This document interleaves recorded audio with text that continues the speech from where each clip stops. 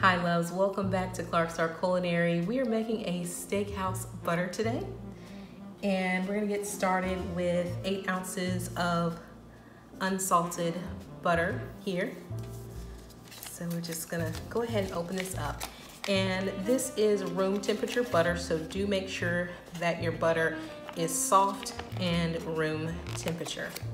And we're just gonna put that over into a mixing bowl. And this recipe is really good for your prime rib coming up this holiday season.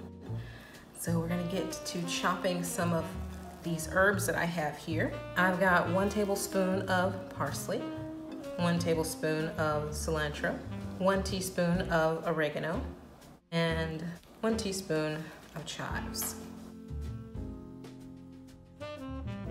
And I'm sure you've all noticed this knife that I use. It's a Mezzaluna knife. It's perfect for chopping up and mincing. I will have a link in the description box down below.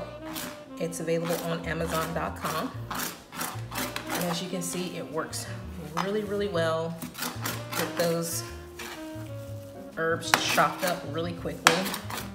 That looks really good. So we're gonna get this over into our bowl with the butter. The next thing we're gonna do is mince two cloves of garlic. This makes life a lot easier when you're mincing garlic. Just press it down and it comes out perfect. Just cut that off there and get the other one.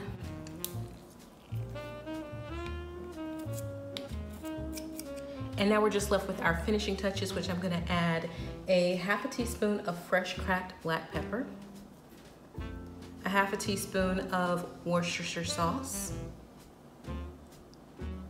and one teaspoon of anchovy sauce.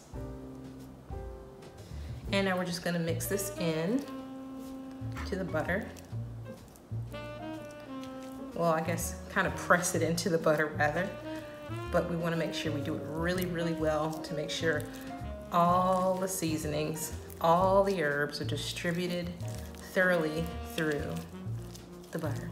It smells so good. So good. This is perfect. And now we need to get this over into some plastic cling wrap. What we're gonna do is just spread out some of this cling wrap here. Right there. This is actually a store brand plastic cling wrap and it's really durable. If you're familiar with the Lidl brand, Lidl store. I love that store. Oh my gosh. They have the best, the best store brand. We're gonna take our butter and put that right down the middle of this plastic.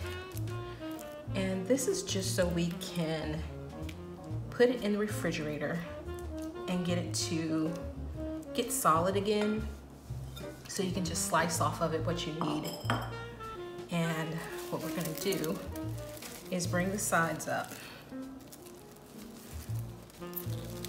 Right here. And I'm just gonna pinch them right here in the middle. And fold it over. And I am gonna kind of round it out and thin it out just a little bit.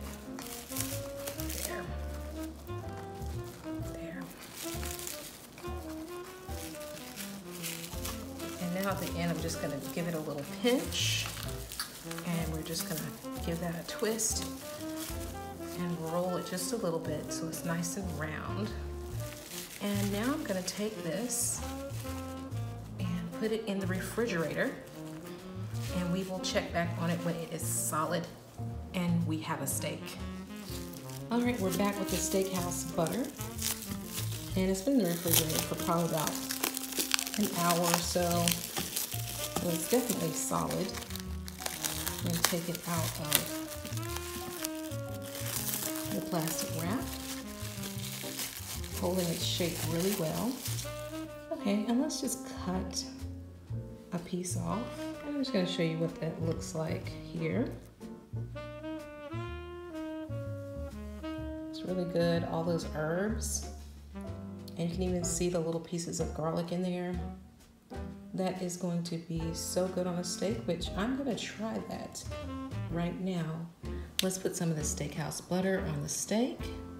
And I'm just going to smooth that in.